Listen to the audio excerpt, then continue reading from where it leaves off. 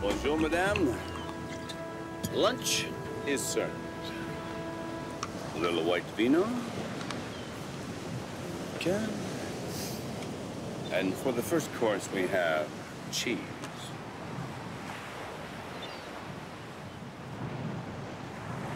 Ugh. Cheese tastes worse than it smells. I hope there's something here that's edible. Sure we can find some. Ugh. Ham? Ugh, not when it's fatty like that. Aha! Fresh turkey. I'm allergic to fowl. Of course you are. Ah, a little pasta salad. That looks about a week old. You know what? That's all right. I'm watching my weight.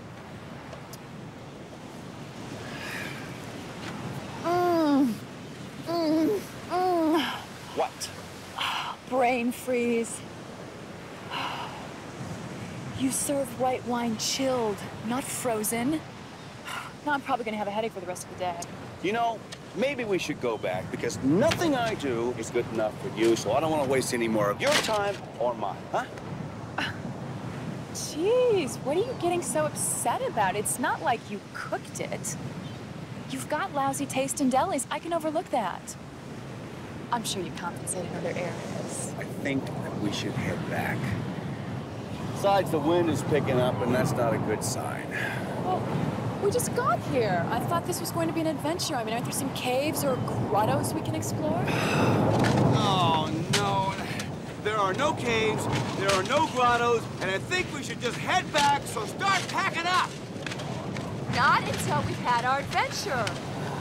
Grottos, adventures. How the hell did I get talking to this one?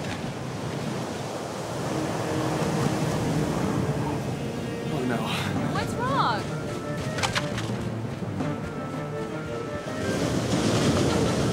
Oh my god. Mitch, get that boat!